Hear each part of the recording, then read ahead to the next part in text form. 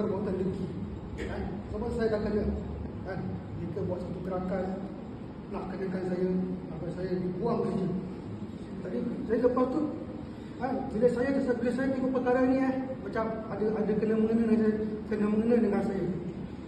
Jadi bila saya tengok Fajar Alam nak baik, apa tak membawa maut. Kan? Alhamdulillah tak bawa maut semua. Bila saya tengok lengan dia memang ngeri lah Ustaz. Kan? Orang tu tak patut lah fikir dia, fikir dia macam ni lah. Saya. Macam ni lah. Dia setakat main main bola je. Itu pun orang nak nak nak dengki nak nak, nak, nak sakit hati.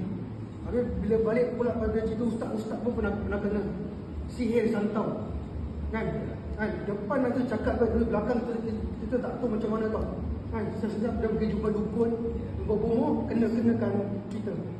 Kan? Jadi sekarang ni kita ni susah nak percaya orang ni sekarang ustaz. Ya. Kan? Susah nak percaya. Depan kita dia, dia cakap baik macam-macam dia cakap belakang kita, kita kita tak tahu. Kan? Kan?